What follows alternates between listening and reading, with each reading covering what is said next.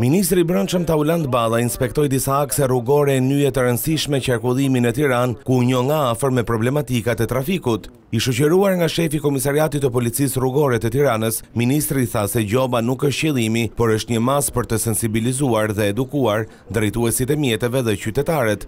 Nuk është gjoba qëllimi. Gjoba është një instrument për të tërhequr vëmendjen dhe për ta bërë përdoruesin e rrugës të vetëdijshëm për rreziqet që sjellin shkeljet ose incidentet që shkaktohen nga përdoruesi i rrugës. Dhe mendoni gjithmonë që gjëja e parë është komunikimi. Ndërkohë shefi i rrugores Besmir Qibini u shpreh se tashmë ka nisur dhe gjobitja e këmbësorëve që në shumë raste janë shkak për aksidente, pasi nuk respektojnë kalimin në vijat e bardha. Fillimisht ne kemi nisur një fushatë sensibilizuese për këmbësorët. Kryesisht kemi nisur në ato zona ku kalohen trafikndarësit, dhe ku janë vërtet shqetësim ose Nyjet problematike, njollat e zeza, ku kemi pas aksidente me, me, me pasoja.